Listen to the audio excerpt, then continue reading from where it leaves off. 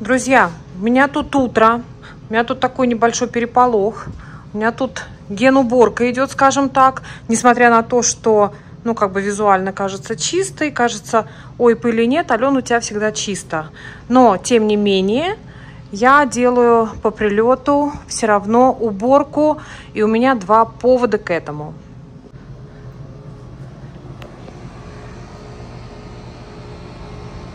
Смотрите, какая у меня тут красота. Я их тоже все намыла-намыла. Все мы мыться любим. Не хотим мы быть пыльными, стоять некрасивыми. И вот все свои вот эти вазы, я все-все-все намыла. И меня многие спрашивали, девочки, Ален, ты их как часто моешь? Девчонки, вообще часто, да. Ну, в принципе, раз в полтора месяца точно мою. И вот вы видите, они стоят, стекают, а, и нету никаких, ни, ну, красных пятен, фиолетовых, чтобы цветочки а, покрасились или еще что-то. То есть вот они мокрые и ничего абсолютно. Поэтому они не линяют ничего. Когда хорошее качество цветочков, и они не бумажные, то они шикарно стираются вообще-вообще, девочки, без проблем.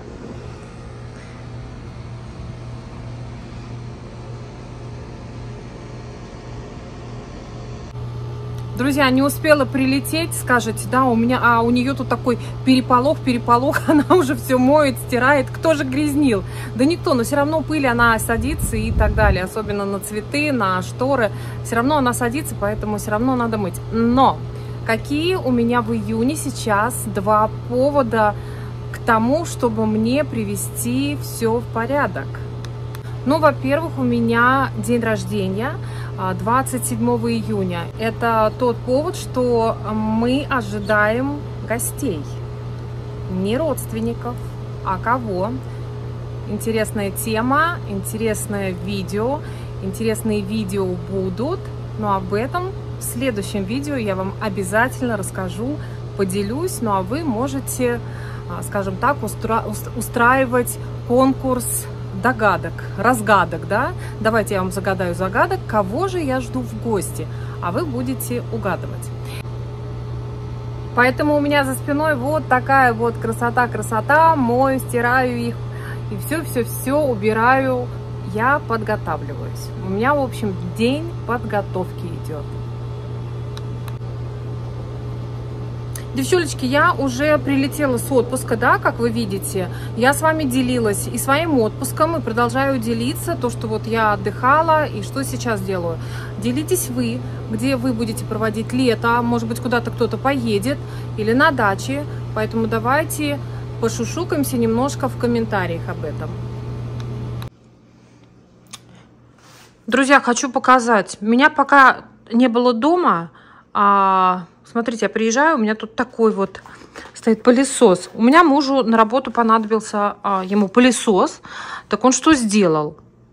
Он купил мне новый пылесос, а который у меня был домашний пылесос, он его забрал на работу. Вот видите, какой заботливый муж.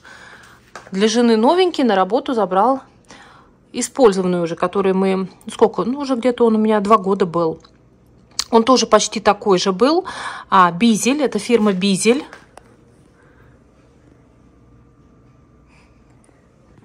Если э, не из роботов-пылесосов, а именно вот из таких, то Бизель, кстати, э, девчонки, кто вот в США, я очень рекомендую, вообще мощные, классные. Э, я просто обалдею от этих пылесосов. У меня была предыдущая моделька Бизеля, а вот это поновее. Вот здесь вот так вот он снимается.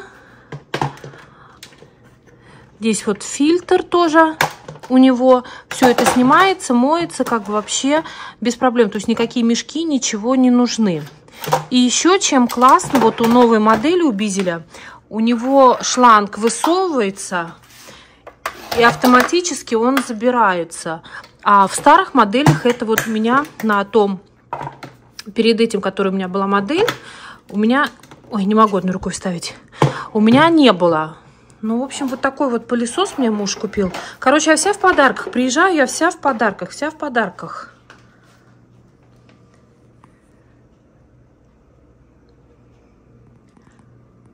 Насадки у него вот тут разные. У него и вот такая вот насадка есть, то есть удобно, классно чистить диваны. И вот такая вот насадка у него. И вот такая вот. Кстати, я не знаю, для чего вот эта насадка. Кто знает, кто мне напишет, кто скажет, что она вообще делает. Вот эту насадку, кстати, она у меня была и на том пылесосе, а я не знаю ее для чего вообще используют. Ну, диваны я все равно, хоть вот эта насадка и есть, но для диванов у меня ручной пылесос и, ну, машинный. Поэтому этими я не пользуюсь, они просто стоят и стоят. В общем, классный пылесос. Бизель. Кстати, он мне купил. А я говорю, а что ж ты мне купил? Говорю, у меня на втором этаже стоит абсолютно новый бизель в упаковке. Потому что я когда покупала, я покупала не один пылесос, а два. И одним пользовался, а второй у меня был а, так и запечатанный. Он так и стоит до сих пор. А он говорит, ну я не знал, говорит, я твой забрал, а тебе новый взял. Вот так. Ребята, сейчас подключила вот его, да. А, хочу вам показать, как он работает. Мой предыдущий, кстати, пылесос работал намного шумнее. А этот, смотрите, вообще тихий.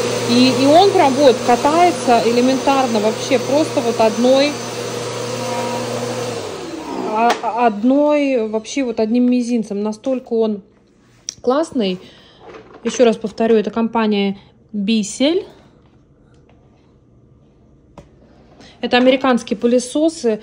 Они считаются самыми-самыми вообще вот, ну, по рейтингу такими а, классными. То есть вот, ну, я не знаю, есть много разных пылесосов, но Бисель вот этот вообще суперский. Я помню, а, я когда еще маленькая была, и у нас дома мама покупала пылесос а, бисель вот этот вот, только у нас он был не вот такой ручной, а вот как обычно, да, в то время это было сумасшедшие деньги, это было вообще невозможно достать, вот этих вот еще, их и вообще еще даже практически не было в продаже, не все могли это позволить. Вот я помню, мама покупала вот этот вот пылесос бисель, у нас он был если мне не изменяет память, по-моему, он у нас был зеленого цвета. Не вот такого вот голубоватого, а вот зеленого. Кстати, вот классные пылесосы. Вот реально, кто вот хочет купить и еще вот раздумывает, вот я э, бисель, я вообще советую пылесосы. Мне вот они очень нравятся. И второй у меня тоже вот стоит наверху, на втором этаже, который запечатанный. Вот я вам сказала, у меня тоже бисель. И муж, который забрал, а, поменял на этот, мне тоже бисель был. Очень классные.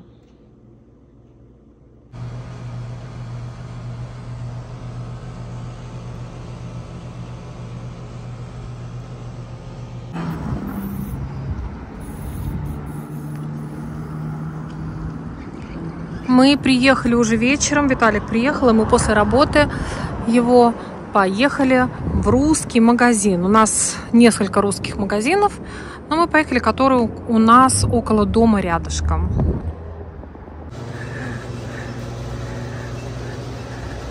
Ребят, вот товар у нас.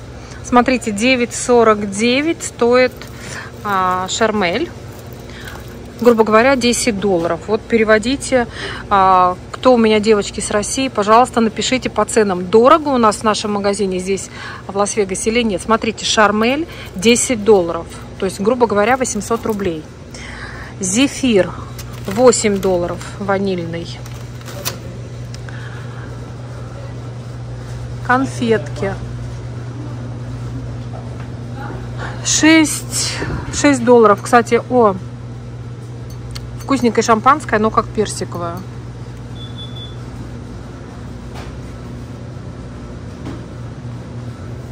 Так, Мерло 14 долларов, 15 Каберне.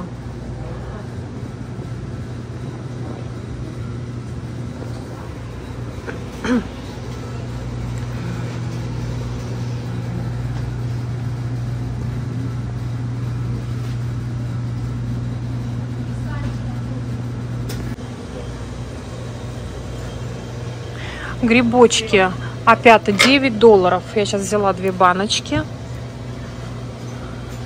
Ну и вот здесь вот а, икра кабачковая по 6 долларов. Кабачковая, баклажановая, в общем, разные. Это по 8 долларов, это побольше баночки. Горошек. Ну вот давайте, например, вот, ну просто баночка горошка, обычная, да, 3 доллара. За свои здесь много лет проживаний, ребята, я нашла здесь 9% уксус 6 долларов. Это вообще нонсенс. У нас вот так быстро здесь разбирают. А 5 долларов а, баночка сгущенки. Ну, здесь мед варенье, аджика, капуста. Так, это наша тележка. Я взяла, я мужу говорю, я говорю, Виталик, так как я у тебя банки склянки не кручу, а, не совсем я в русских традициях, скажем так, воспитана в плане того, что я закрутки не делаю вообще. Я говорю, поэтому мне не стыдно взять в русском магазине помидорки. Взяла две банки помидорок, груши, а, абрикосы, персики, укроп, вегету, ванилу, две банки грибов вот этих, квас дюшес, уксус. Ну и здесь сырки глазированные, вот эти вот беленькие. А, цену не знаю, даже не скажу. Четыре штучки их взяла. Так, взяли а, вот эта баночка икры. Это икра красная с Аляски. Напрямую это прям а, икра аля, с Аляски. 56 а, долларов такая баночка. И вот такую мы взяли тоже икру. Тоже сказали очень-очень вкусная. Мы знаем хозяина магазина, поэтому а, красное золото, салмон икра. Взяли вот такую баночку, она 45 долларов. Ну, взяли а, сгущенку. Виталий какие-то паштеты взял, он любит. Вот эти, ну, они долларов по 4, по 5, не знаю. Также здесь всякие разные сыры у нас. А, в том холодильнике можно купить готовые салатики. Ну, для тех, кто не готовит. Я дома готовлю, поэтому меня тот холодильничек не интересует. Здесь творог. Вот смотрите, вот творог. Вот я раньше брала вот этот творог. А, фермер чиз. Это израильский творог. Вот смотрите, за паунд 9 долларов. Так я, получается, намного-намного дешевле делаю. Колбаска по 14 долларов за паунд. Паунд у нас 450 грамм, правильно? Ну, грубо говоря, за полкило вот по 14 долларов. Это 20 долларов. Это по 12 долларов колбаска. Ну, в общем, вот здесь вот так вот много-много-много разных вариантов всяких колбасных изделий. Сосиски, сардельки тоже. В общем, все у нас есть, как и, скажем так, в России, но только намного-намного все меньше.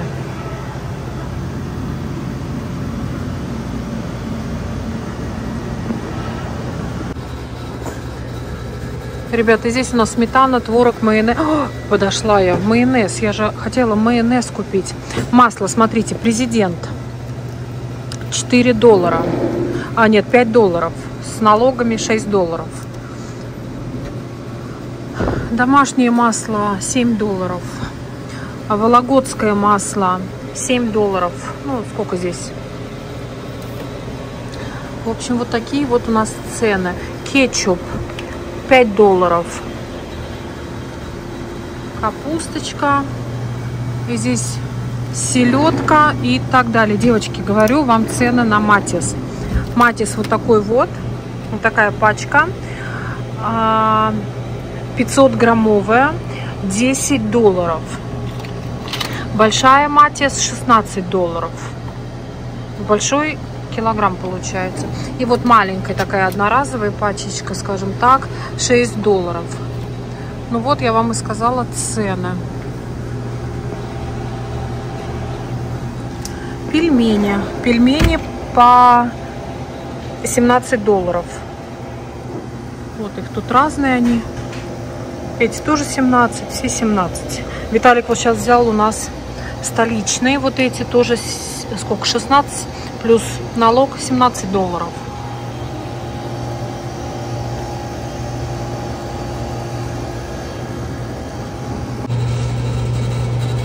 Все равно Я такая загорелая. Я еще взяла Матиас.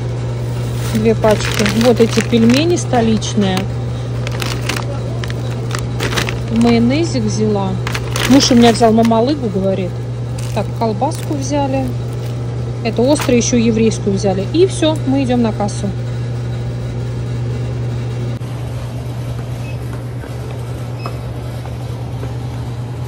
Реснички мои еще, девчонки, живы.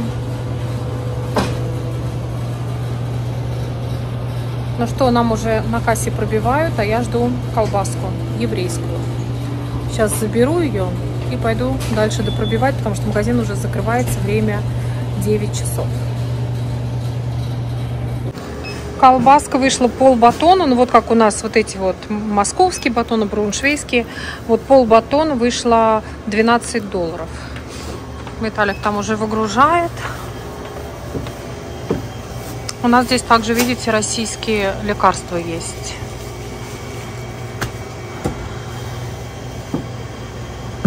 Даже диклофенак Акос есть, вон он стоит, который практически в Москве его нет, а у меня мама им пользуется.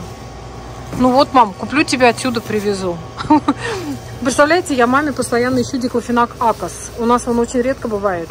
А здесь он у нас есть. Мироместин, Оксалин, Искумизан, Мизим. А Ренни есть? Ренни. Ренни нету. Терафлю, Сабельник, Живокост. Вот эти все 911, которые тоже в Москве тоже не во всех аптеках купишь. Валидол, Аллохол. Ну, в общем, такое необходимое оно, в принципе, есть. Глицин, Арбидол, Найс, Фуросемид, Нистатин, Тетрациклин. Ну, в общем, вот так.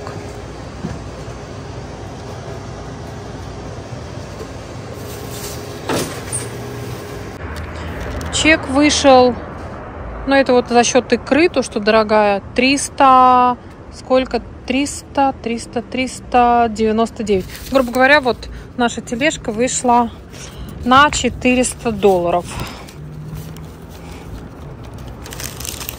Вот такая вот большая тележка, 400 баксов. Ну все, всем пока-пока, мы поедем домой. Ребят, включила камеру, посмотрите, какое небо.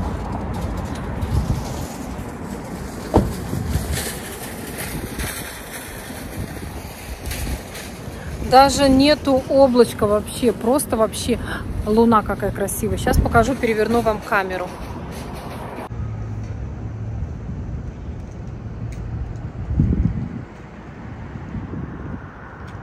Вы ее, наверное, и не видите.